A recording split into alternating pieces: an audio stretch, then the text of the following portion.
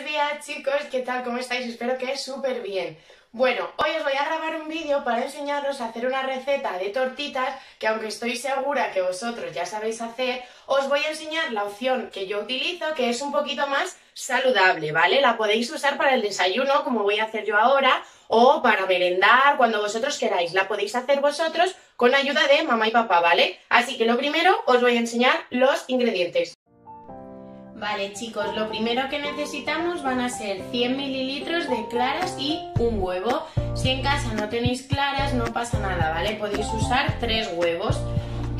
Segundo ingrediente que vamos a necesitar es la harina de avena. En mi caso es harina de avena con sabor a chocolate. Pero si no tenéis no pasa nada, podéis hacer harina integral de trigo o avena molida sin sabor. Si utilizáis esta o incluso esta, yo recomiendo que echéis un poquito de canela, que yo también le voy a echar a esta, o incluso una cucharadita de cacao desgrasado. También, si os gusta mucho lo dulce, podéis utilizar sacarina o edulcorante para que quede más rico. Y por último necesitamos un bol como este o si mamá y papá tuviesen en casa un shaker como el que voy a usar yo. Vale chicos, ahora lo primero que tenemos que hacer es mezclar bien la canela con el resto de la harina. Cuando ya esté, como veis aquí, he echado ya el huevo y voy a echar los 100 mililitros de claras, ¿vale? Lo batimos, sobre todo con la yema.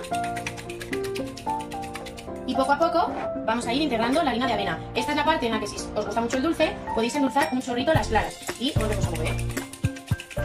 Vamos a ir echando poco a poco la harina. Este paso es mucho más fácil si en casa todos tenéis un shaker como este, ¿vale? Porque lo cerraríamos y simplemente habría que batirlo. Así que ahora os enseño cómo va a quedar la mezcla.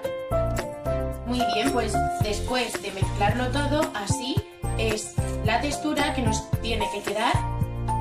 Vale, y ahora para echar la masa a la sartén, yo sí que voy a utilizar el shaker, ¿vale? Así que ahora lo vemos.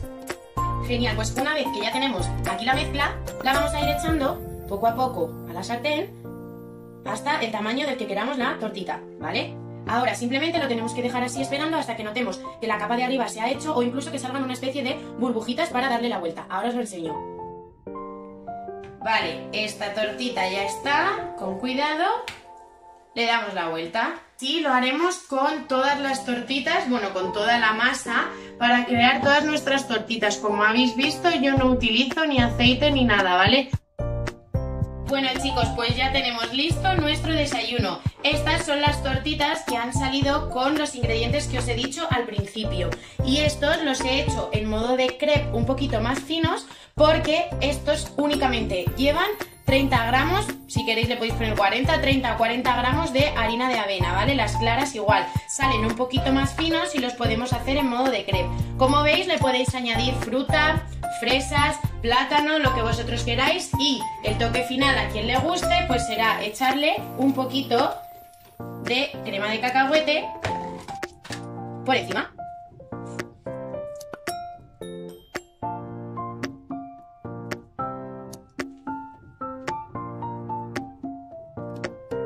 Bueno, pues ya está chicos.